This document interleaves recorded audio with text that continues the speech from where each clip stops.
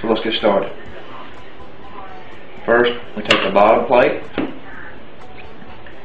and our bolts. Stick the bolts through the holes.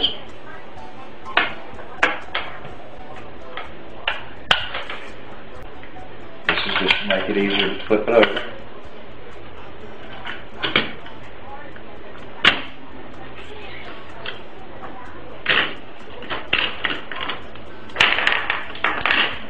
Taking note that the porthole is toward me so that the next plate, instead of being in the same line of the same, will be at the top.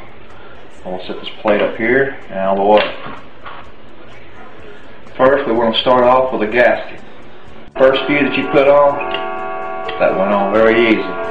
The first view you put on usually doesn't go that easy. Keeping in mind that the porthole is the bottom on this one, you want to turn the plates. Actually, I should have them all turned. Like I say, you normally wear gloves, but make sure that you've got clean hands. Put your first one in place.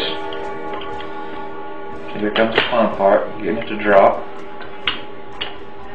But once you do, notice the tab for the connection is on this side. Come back with another gasket. These plates have already been cleaned, sanded, and cleaned again. Come back with a second plate. Drop it down. Go with another gasket. Another plate. Alternating every other plate.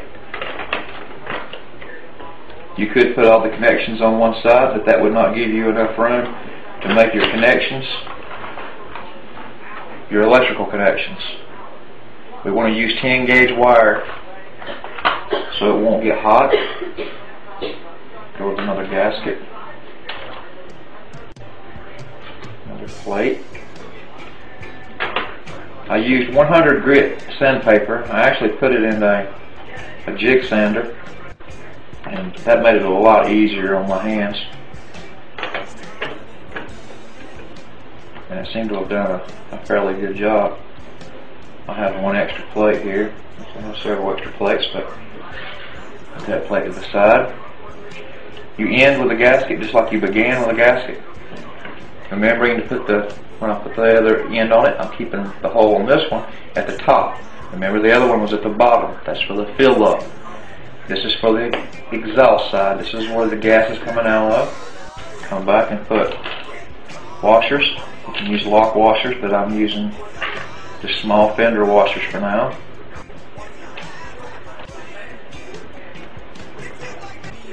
And when you're putting these, when you are torquing these, and I'm just doing it hand tight right now, but when you go to torque these, make sure you do it more in a star pattern like you would be doing if you were changing a tire on a car or putting a wheel back on a car. What that does is it ensures that you're getting even pressure all the way around. You don't ever want to over tighten this material for a gasket or any other material for a gasket as you're liable to damage the gasket. And believe me, it's nothing more aggravating than to fill these things up with electrolyte and have to go back and tear it back apart to repair a little bit of a small problem with the gasket. And I've already taken the liberty of putting Teflon tape on these, as I said earlier.